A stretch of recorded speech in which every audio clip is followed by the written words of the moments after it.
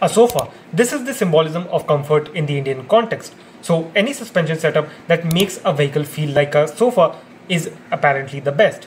But is that really a good way to judge a suspension setup? Absolutely not.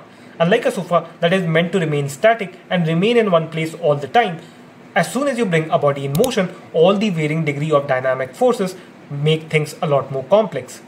With a soft suspension setup, a vehicle like a car might feel decently comfortable, but as soon as you go around roundabouts or swerve in panic, the violent lateral movements or the body roll comes into play.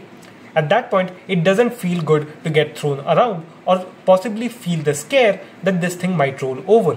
Suspensions that are too soft are bad, but so are the ones that are too stiff. The feeling of your vehicle crashing in every other pothole and unsettling you from your seat isn't good either.